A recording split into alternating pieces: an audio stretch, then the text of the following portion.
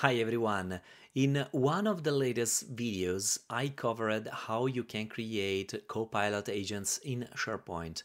Now I would like to expand this topic according to the messages, comments, and direct messages that I received in building more complex scenarios.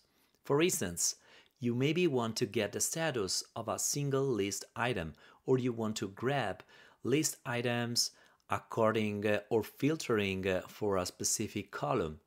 Or moreover, you want to engage much more with the SharePoint lists. So let me show you how you can do that by building your custom Copilot agent. Let's get started. Let's go.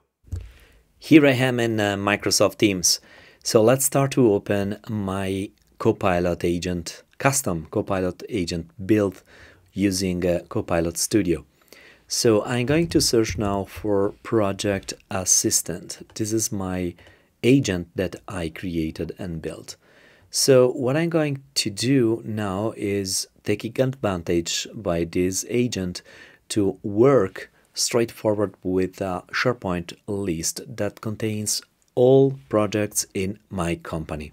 So let me show you how it looks this list. So it's a normal project list that I have in my home site and here are listed all important projects with some information, the name of course of the project, description, category, progress, priority, start date, due date, we have the responsible of the project, key stakeholders, and that's it. So what I want to do here is offering to all users in the company the status of projects or main projects. All right, so instead of opening the SharePoint list and giving and granting access to this SharePoint list, what we can do is staying in Microsoft Teams using an agent to ask to perform CRUD operations in a, share, in a SharePoint list. So create, read, update, and delete items. So as a user, for example, I want to know what is the status of a specific and important project. Or maybe as an editor of the list, I want to delete a project because it's no longer running, or I want to just change the priority of this project. So all these kind of activities can be performed using an agent just to give you a real scenario. All right, it's time to ask something to our Copilot agent. What I'm going to paste here is just a short description asking to create a new project named Drone X1 with the following description and category planning and priority low. Just these fields. Okay, let's send this one and let's see now what is going to happen. So I can see that my agent is working behind the scene and what we have here as a result is that the project Drone X has been created successfully with the following details. Alright, so let's double check that. I can see now my item just created. Let's refresh the page. And what we have here is the new item created, Drone X, with the description that I sent, with the right category, and with the right priority. So that's that's it. All right, let's say now that I want to update something. Let me add another description here asking to change the priority for the project that I just created because I missed this and I forgot to, to add the right value which is in this case is high. Let me send this and let's wait that my agent run and call a flow that I created. What is the project description? Because this is also a parameter that I want to include in my project. So let's add the description that we added before. And now let's wait that my Copilot, custom Copilot agent do the job. All right, the priority for the project Drone X has been successfully updated to high. If you need further assistance, so that's that's pretty cool. So just by asking something, you can change single value of every column So let me refresh now this page on the list just to double check that the value has been changed and here we go, has been turned to high. Let's see other use case. Let's say now that I want to delete the project that I created. Okay, let's add a new description here, delete project drone X, just like that. And now again, let's wait that my Copilot agent run a flow that I created to cover this scenario. The project drone X1 has been successfully deleted. Okay, let me now go back again on the list and let me refresh the page just to double check that the item is really gone. And here we go, uh, the Drone X1 project is no longer available in the list. Let me show you other use cases that you can cover by using a Copilot agent. Let's say that you want to extract now data according to a specific value in a column. Alright, just some seconds ago I tried to show me, to ask to show me all projects in the company and my agent got an error. I will investigate later. I tried again by asking show all projects and here we go. I have now the list of all projects running in the company. So I'll show you now in detail how you can handle this, this scenario. But let me ask something else. For example, show all projects with priority, let's say high, I would say. Okay, and let's see now that if my agent can assist me with this question. Hopefully I should get a response with the list and here we go. I got just two projects because in this case only these two projects have priority high. Let's double check that. So we have Energy Saver here and then we have Company Daycare Center. These two have priority high and now I can see the response in, in the chat with my agent. It's time to show you how my Copilot agents works. I am here in copilotstudio.microsoft.com and let's click on agents so I can show you the Copilot agent that I used before, Projects Assistant.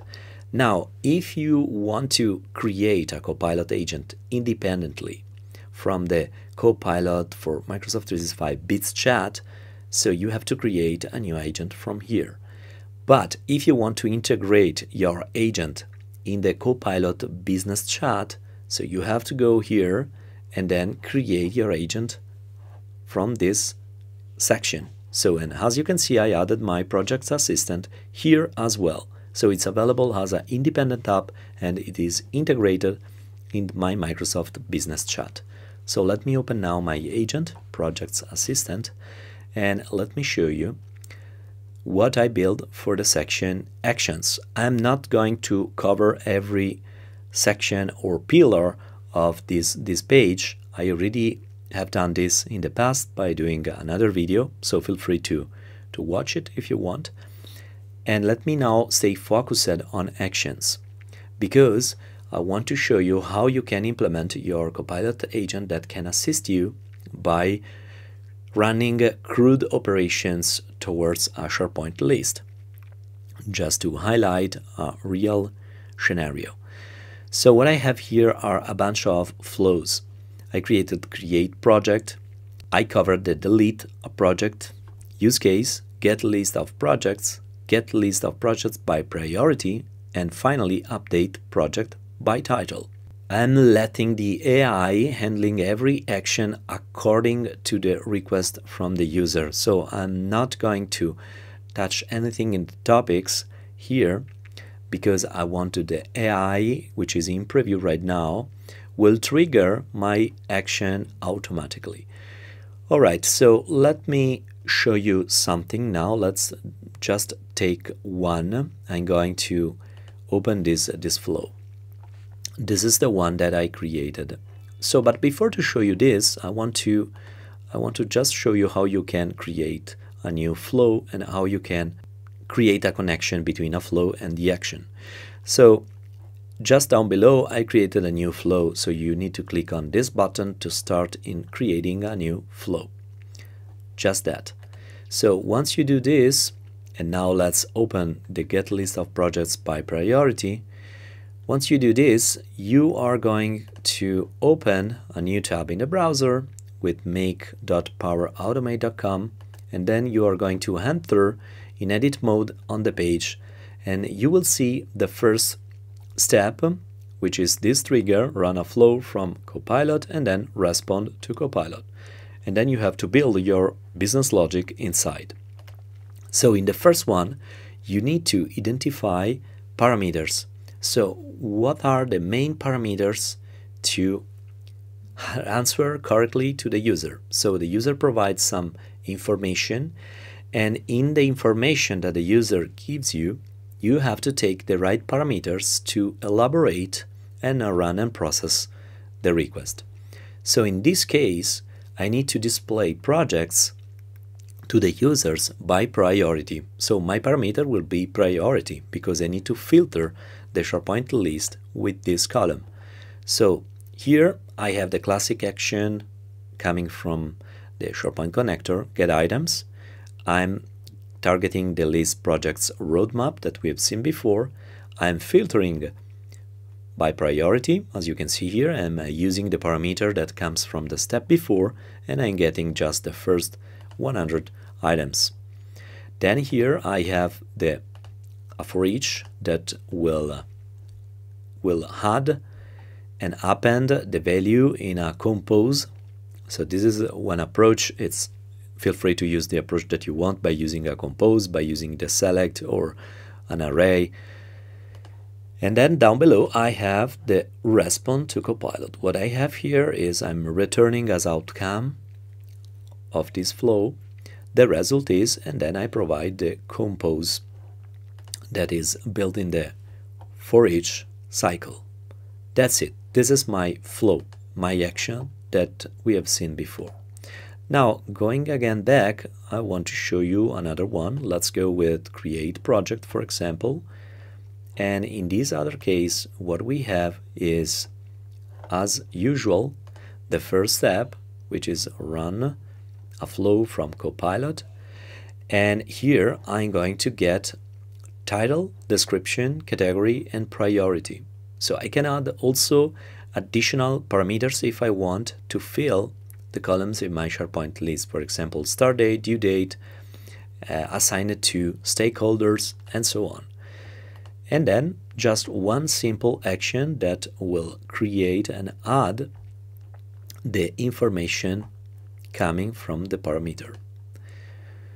Alright, and then as a response I have just a simple parameter result project created successfully. Let me show you another one. So let's go again on actions. And in this other case, I want to show you the delete a project flow. So let's click on the link and now let's go in edit. I have always the first step as a trigger. Then I have the get items because I need to get the right item that I need to update. And I'm going to do it by using the parameter project, which is the title of the project. So now you can create multiple actions if you want to extract your project by a name or by a description or by another column that you want to use. So it's really up to you thinking how to create the best logic, uh, business logic app possible.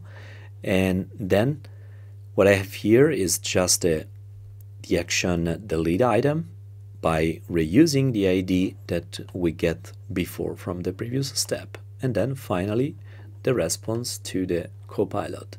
So that's that's it how you can use actions and how you can interact with a SharePoint list using a custom agent. Alright, let me know in the comment down below what do you think about this capability and what kind of video do you want to see in the future. I hope you enjoyed this video. If yes, please consider to subscribe and like. I hope to see you next time. Bye.